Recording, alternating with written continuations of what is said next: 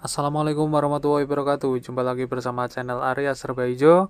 Kali ini saya akan membagikan cara bagaimana membunuh belatung yang ada di jamur jakaba. Jadi kalau jamur jakaba kalian atau kalian mempunyai jamur jakaba yang ada belatungnya seperti ini, ini belatungnya sangat banyak, itu artinya jamur jakaba kalian sudah terkontaminasi. Nah, ini ada lalat-lalatnya seperti ini, lalat-lalat kecil ini yang memunculkan atau yang memberikan bibit belatung di jamur jakaba ini. Pertanyaannya berbahayakah atau tidak atau bisa digunakan atau tidak jika jamur jakaba ada belatungnya seperti ini? Jawabannya adalah tetap bisa digunakan dan tidak mengurangi manfaat yang ada dalam jamur jakaba karena belatung ini memakan jamur jakaba yang sudah busuk. Jadi tidak berbahaya untuk tanaman nantinya.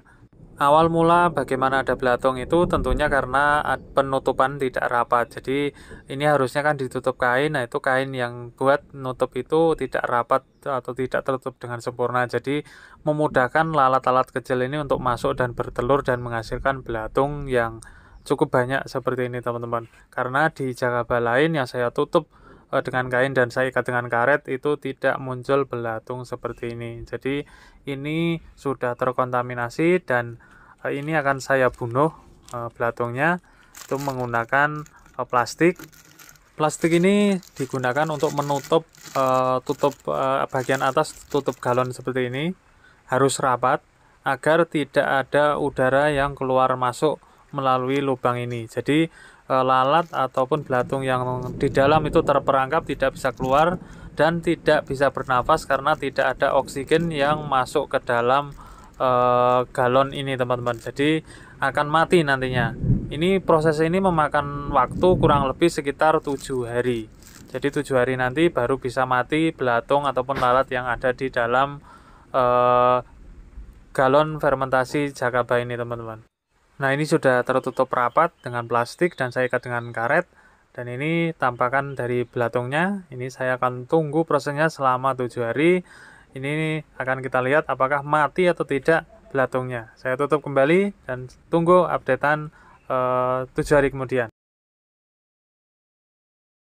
Nah ini sudah tujuh hari dari sejak uh, kita proses mematikan belatung.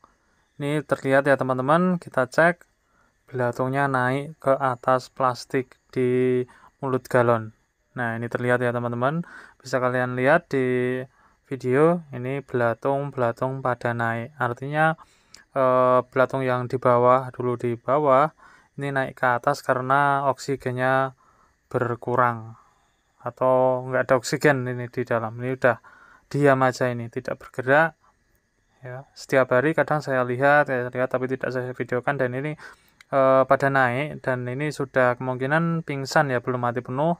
Jadi akan saya diamkan lagi selama lima hari ke depan itu biar mati total belatung-belatung yang ada di dalam galon ini. Dan ini bau ya teman-teman. Jadi kalau ada belatung itu bau uh, dari jamur jakabanya ini, tapi manfaatnya tetap sama tidak mengurangi uh, kandungan uh, yang baik di dalam pupuk kandung uh, jakaba ini seperti ini penampakannya ini yang sudah mati atau menjadi kepompong ini ya seperti ini ya dan akan menjadi lalat. Yang bagian bawah udah bersih sudah tidak ada belatung lagi. Jadi belatung-belatung itu naik ke atas ya. E, berusaha mungkin berusaha keluar atau mencari oksigen karena namanya makhluk hidup itu kan butuh oksigen ya. Seperti ini penampakannya saya kasih tunjuk. Nah ini belatungnya ini udah diam teman-teman ya. Udah tidak ada pergerakan di mulut galon ini kemungkinan ini sudah pingsan. Orang kalau kekurangan oksigen kan juga bisa pingsan bisa meninggal. Dan ini uh, sama. Hewan pun belatung juga uh, makhluk hidup. Jadi ketika oksigen ini di dalam menipis juga mereka akan uh, mati.